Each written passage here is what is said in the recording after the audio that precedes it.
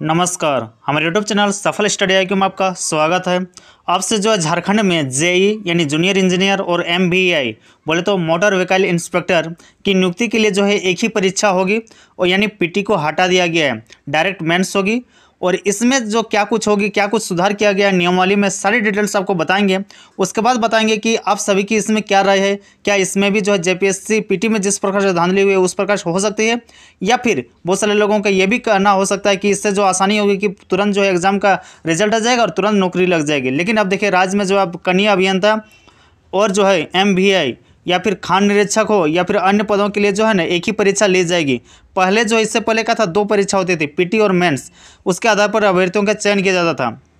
Cabinet के फैसले के बाद अब कार्मिक, प्रशासनिक सुधार एवं राजस्व विभाग ने जो है, इन सभी पदों के लिए जो है, एक ही परीक्षा से नियुक्ति की अधिसूचना जारी कर दी है।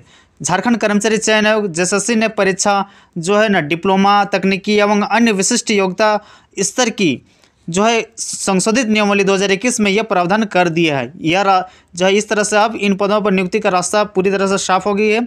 दो घंटे की होगी परीक्षा, यानी वर्तमान में जो है अब मुख्य परीक्षा दो दो पत्र का होगा, पेपर वन, पेपर टू।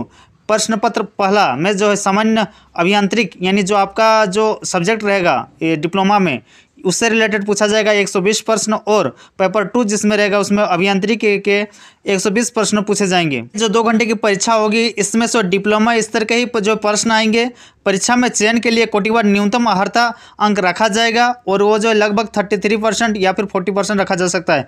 कार्मिक विभाग ने जो सिलेबस भी तय कर दिया है, हालाँकि मैं सिलेबस आगे बताऊँगा आप लोगों को। राज्य के संस्थान से ही जो है, जो इंटर और मैट्रिक पास करना अनिवार्य होगा, ये तो सभी वैकेंसी के लिए है कि अगर आप जो है जूनी जनरल कैटेगरी से आते हैं तो आपको राज्य से ही जो है, राज्य के ही किसी भी संस्थान से मैट्रिक और इंटर ज़रूरी है। हाँ अगर आप S T S C O B C हैं, आरक्षित वर्ग से तो आप कहीं से भी मैट्रिक इंटर किए हैं, देश से किसी भी इंस्टीट्यूट से तो चलेगी।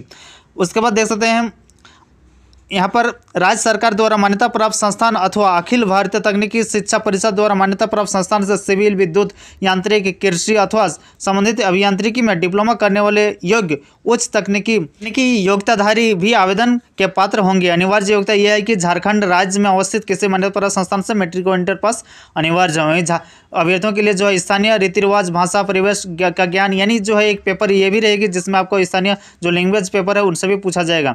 देखिए, जेई सहित कई पदों पर होगी नियुक्ति, जिसमें जो दे सकते हैं जेई विद्युत जेई सिविल जेई अभियंत्रिक जो अभियंता, यांत्रिक कनिया अभियंता, कृषि अभियंत्रण, खान निरीक्षक, मोटरयान निरीक्षक, जिसे एम कहा जाता है, pharmacist, X ray technician, laboratory assistant laboratory attendant तो ये देखते हैं आप थे सहायक, प्रयोगशाला तकनीशियन और न्यूनतम अर्थात देख सकते हैं, जनरल के लिए फोर्टी परसेंट है और जो है यहाँ पर थर्टी फोर परसेंट है पिछड़ा वर्ग के लिए और जो एस टी के लिए थर्टी परसेंट इस तरह से है।